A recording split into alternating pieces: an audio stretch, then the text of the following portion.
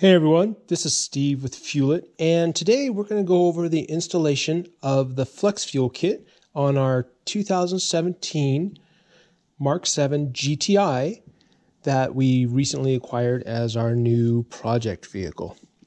Anyway, so to start with on this, first thing we're going to want to do is relieve the fuel pressure in the fuel lines. So we'll want to pull the fuse to the low pressure pump start the car, let it run until that pressure is relieved. The car may or may not die. If it doesn't die and you've let it run for a couple of minutes, then go ahead and turn it off. And there won't be much pressure in the lines, but there will still be a little bit of pressure in the lines. So the first thing we'll do here is we'll pull off the cover of the fuse box.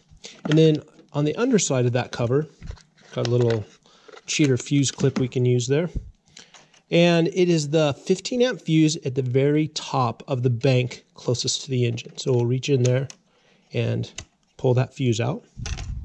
Then we'll go ahead and come around to the car, jump in and start it up.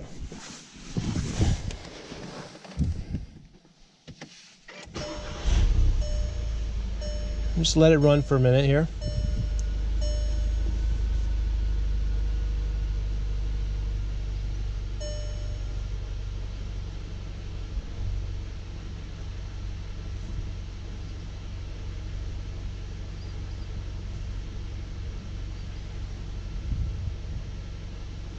Okay, so we don't have much in the way of fuel pressure in the lines.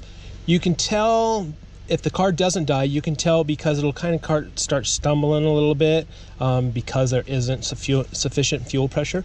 So we'll go ahead and turn it off.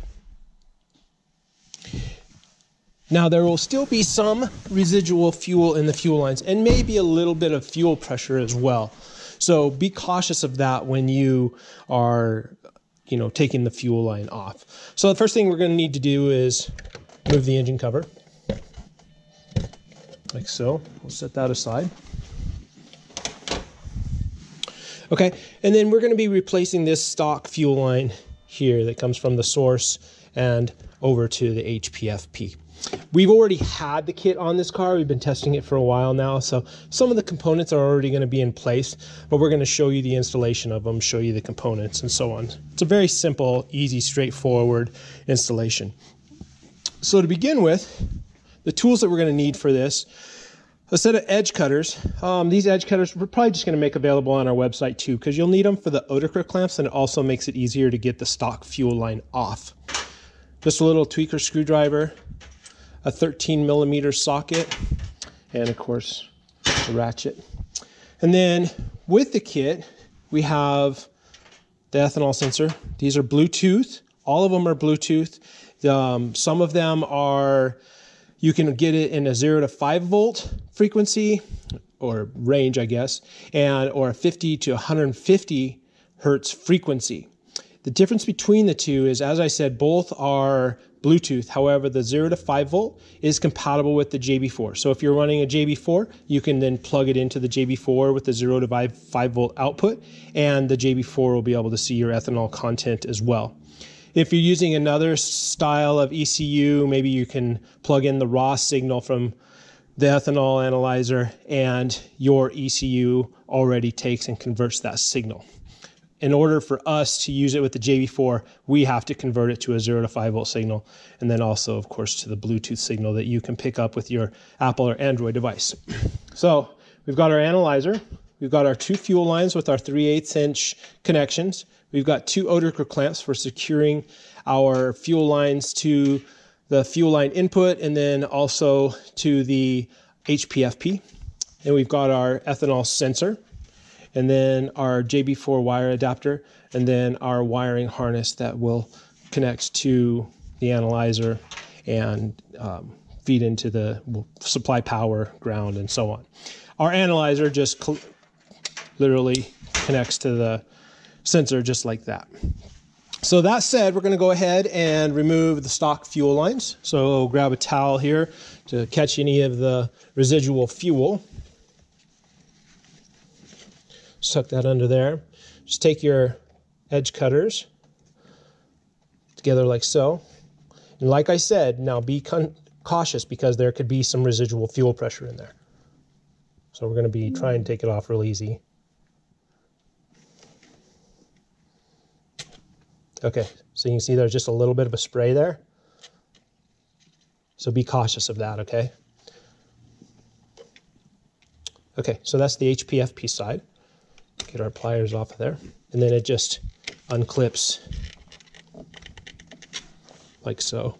I'm trying to be gentle and we try and get our residual fuel to spill into our towel here. And then for this one here, this is why we have the tweaker screwdriver. Just go ahead, push down here, and then you can separate it. And then that line comes out. Disconnect here. And then again, with our edge cutters, got the same style of little spring clip. Push it together and pull it off. Okay.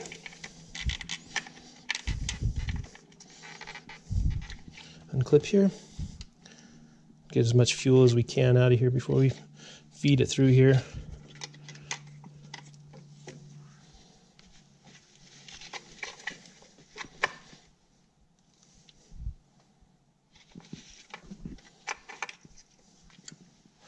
All right, and then we just set that aside.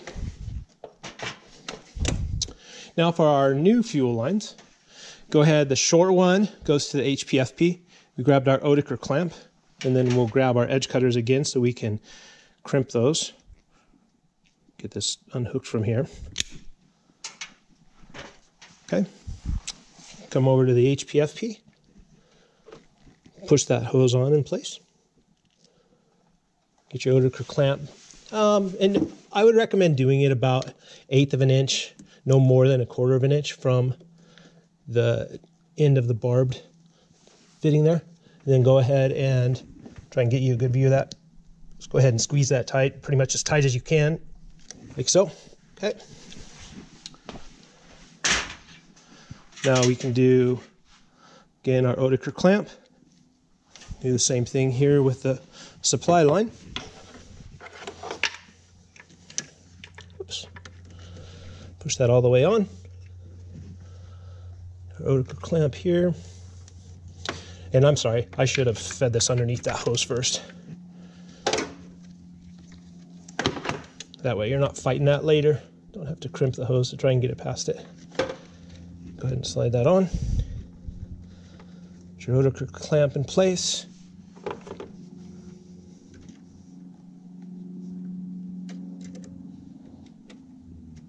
Oops. spread these out good.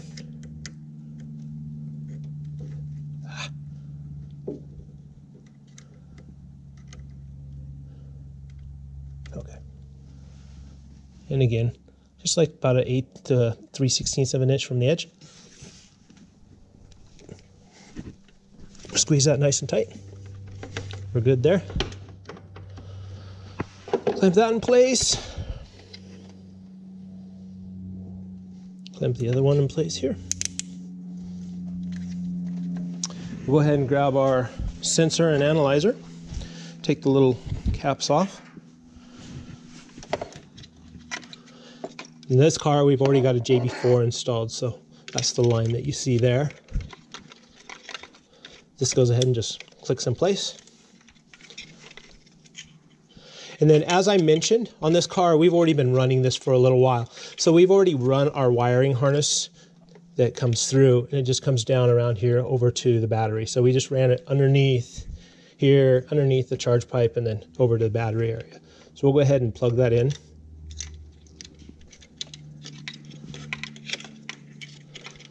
Feed that over there. And then for the line to the HPFP, plug that in. Pop the fuel line into these little clamps here. Okay, so that's it for our fuel line. Our fuel line is installed. Everything is good to go there. Now, to go over the electrical connections. This was the wiring harness, and this was what you saw me plug in right here. And then, as I said, we ran the electrical around underneath here. and we're running a JB4. So we also integrated with JB4. If you're not running a JB4, all you do is hook, connect power and ground, and that's all you need for the Bluetooth. Okay, so our wires came over, they came down here. This is where we have our JB4. So I'll pull this up so you can see here. Now on the JB4, uh, actually I'll go over that in just a second. So coming from the analyzer, we have our harness that's right here. You can see that it fed through right here. And then it comes up right here. So our red goes to power. And it just so happens that there's a nice little groove right here. Hopefully you can see that well that you can kind of run the wire through. And it comes up here into the fuse bank. And then just take the end of this wire and literally just push it into the little fuse holder for the fuel pump. So we have the, this is for the 15 amp here. Plug it in there. And then when you put the fuse back in, then that's gonna crimp that in place, okay? Now for the ground side, you can see right down in here, there is the battery hold down bracket, and that's a 13 millimeter socket. So I'll go ahead and take it off just to show you.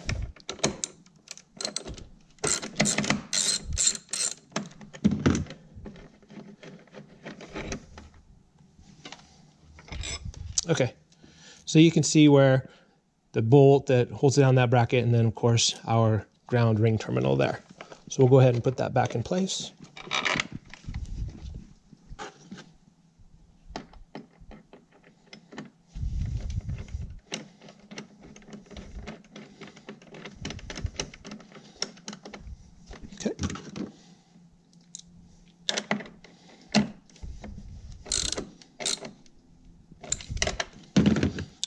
Now for the JB4 side, if you are using a JB4, this wire will plug into pin 16 of the DB25.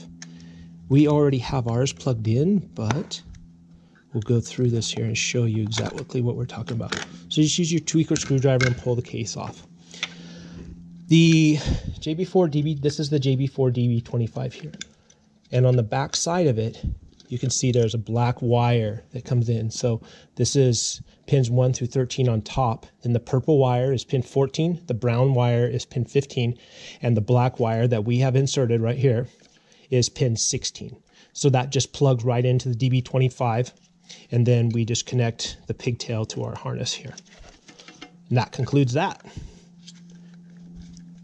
So then we'll put this back in place, put our cover back on.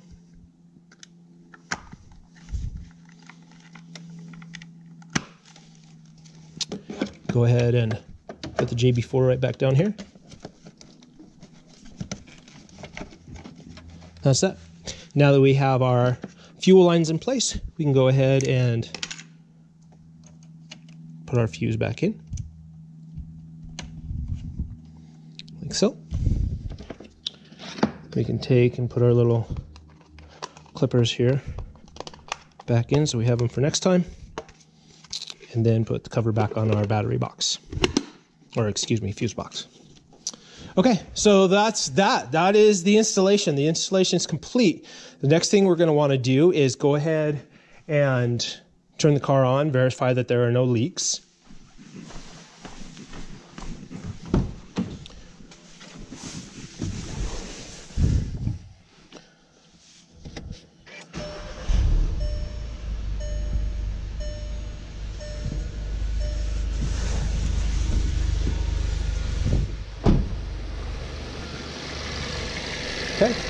Our fuel lines.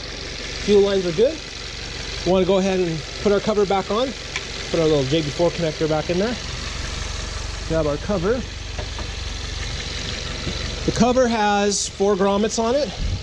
And then it's also got a couple of indentations on it to kind of help you line it back up. So about like so. Push the cover back in place. That part's done. Okay, so now that we have put the cover on, everything is done there, we can go ahead and get our shop light out of the way here.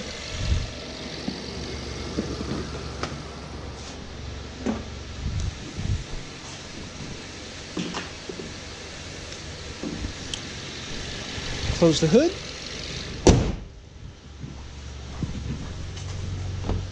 Come in here. Now, there's no check engine light, but we've done this a couple times now because of the testing and so on. When you run the car out of gas, sometimes you will get a check engine light. Once you could or reconnect everything, get the car running again, drive it for a little bit, that check engine light will clear. Or you can clear it with an OBD2 uh, cable and you know your phone, whatever. Or the JB4 will can also clear it. So now that we have it connected, we'll go ahead and open up our Fuel-It app and we'll connect. And as you can see, we're at E37. And then also, if you were running a JB4, you can take your laptop and we've run our JB4 cable through into this little cubby here that we can keep it for logging. And hopefully you get a good view of this. And we'll go through these settings real quick. All right, sorry about that. All right, so we open up the JB4 and then we select settings and then you can see that COM4 is available. We're already on COM4 because we've been connected to this vehicle. We select File, Connect. Okay, and then you can tell it's connected because the car is running and you can see your RPMs fluctuating there. Now, for the JB4 to read that signal, since it does not have a dedicated um, E85 input at this time, it's going in under the meth channel, it'll be labeled as meth. And so for the meth channel to see it properly, meth is generally, meth signal scaling is generally set to zero. So you'll need to change that to 100. And then select save.